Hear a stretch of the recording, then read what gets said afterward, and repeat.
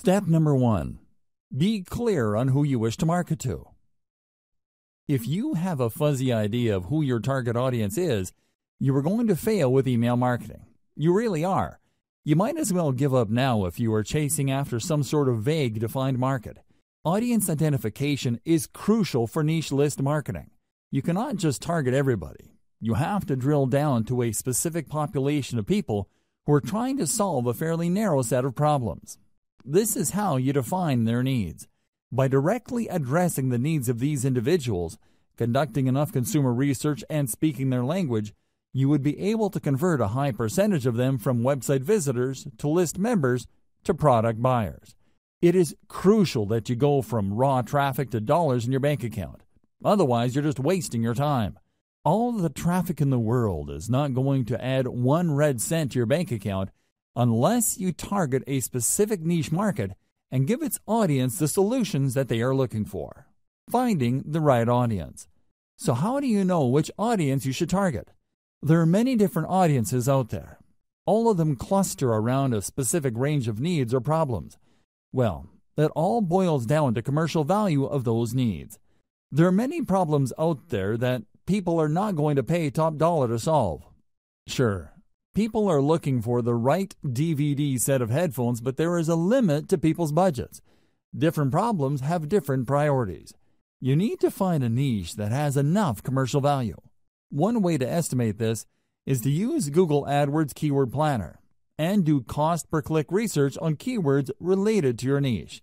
If you notice that advertisers are willing to pay a lot of money per click on those keywords, then you're in a good spot. Chances are there is enough commercial demand for that niche. People are willing to pay a significant amount of money to solve problems related to your niche. It's also important to make sure that you are targeting a niche that is big enough. Sure, there are lots of advertisers willing to pay a tremendous amount of money for structured settlement keyword traffic. We're talking about more than $20 per click. The problem is, the volume of searches for that niche is actually quite low. Make sure the niche you are targeting has enough demand as indicated by Google Keyword Planner. This tool not only tells you how much advertisers are willing to pay per click, but it will also give you an estimate of the volume of searches for keywords related to that niche.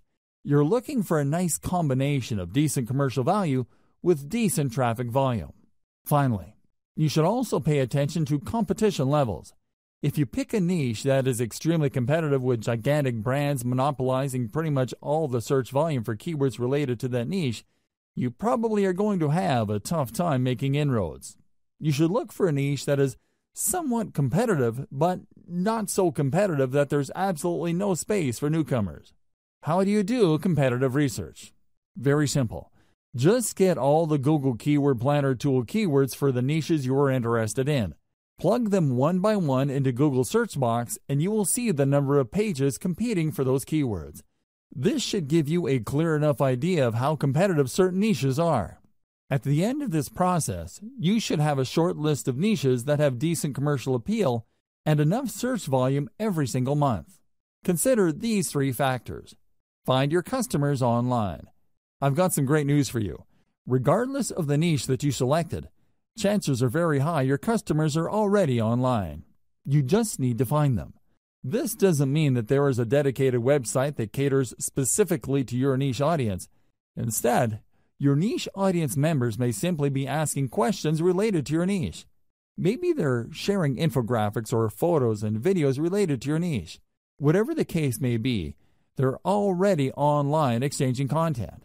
Your job is to find all these areas online and listen to them.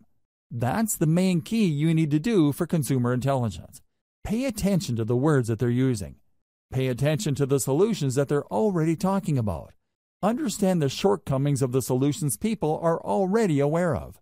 If you spend enough time on these online platforms like forums, message boards, Facebook groups, Facebook pages, Twitter accounts, Reddit, subreddits, and Quora or other question and answer platforms, you should have a clear understanding of who your audience members are and their expectations. You should also have a fairly clear idea of who your competitors are. I've got some bad news for you. Regardless of your niche, you probably already have competitors. This is not depressing news. Instead, You could use this to your advantage. Find the competitors competing for your target audience. Create a long list of them. Look for both direct and indirect competitors. Reverse engineer your competitors. Once you have a clear idea of who your competitors are, reverse engineer what they're doing. How do they speak to the needs of the people you're trying to reach? What do their websites look like? What kind of social media accounts do they have? What kind of content do they use for marketing purposes? How are their pages designed? You have to keep these and other related questions in mind as you research one competitor after another. After you've spent some time asking these questions and processing your competitors in a systematic and methodical way, you should have a clear idea of what your niche industry standard is. You would quickly find out that your niche competitors tend to look alike. They tend to address the same problems. They tend to have the same solutions. Their social media accounts tend to look similar to each other. Be mindful of this. Look at these similarities and understand that this is the industry standard in your niche. Whatever website or social media account or mailing list you come up with must fit the industry standard. Please understand that when you figure out the industry standard in your niche, it just gives you a place to start. You shouldn't start and end there. If anything, it just gives you a head start instead of fumbling around to come up with the right squeeze page or mailing list marketing materials for your niche. It gives you a place to start. What industry standard item should you look for? Pay attention to your competitor's squeeze page layout. This is a sign up page your competitors use to get their target audience members to sign up for their mailing list. Pay attention to how they lay out these pages. What kind of pictures do they use? What kind of text do they present? How do they format their text?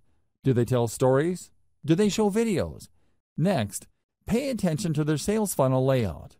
Your competitors have a standard way of getting people to sign up to their mailing list and also selling those list members to a wide range of products and services. Be aware of how they do this. How do they take prospects through the sales process? Understand that their ultimate goal is to get list members to buy something. Try to figure out how their sales funnel is laid out and how it seeks to convert list members.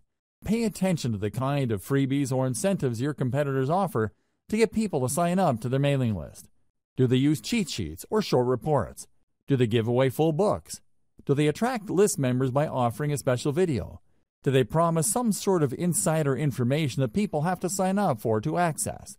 Be aware of the specific industry standard digital incentive your competitors give out. You're going to have to offer the same.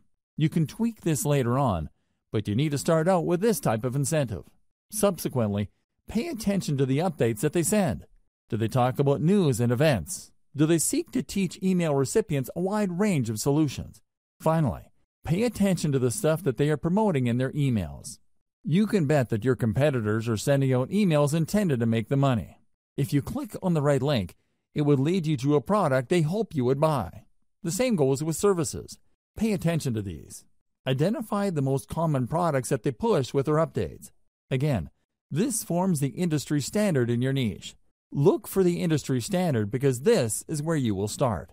It doesn't mean you have to start and end your email list marketing activities with the industry standard.